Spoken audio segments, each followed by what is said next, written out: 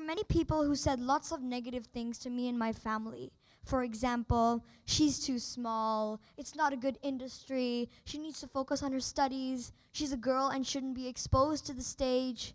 And the list goes on and on and on. What did my parents do? Thanks to my parents, because they didn't listen to all that negative stuff.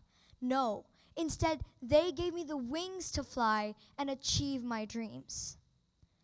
So, what do you do when you're surrounded by lots of negative people?